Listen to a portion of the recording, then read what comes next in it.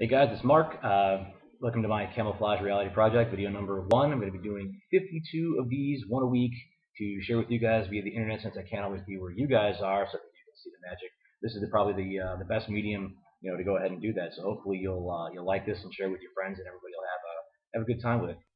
Uh, the first thing I want to do with you involves my uh, water bottle here. Uh, I got my water bottle and the cap. I'm going to use the cap. I've actually done this trick naked. Let's roll that footage. Let's not roll that footage. Uh, all right, here we go. So we take the cap off.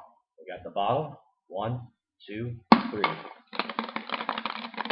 Check it out. I hope you guys can see that well.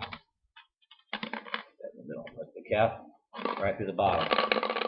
And I can give this to you guys as a souvenir.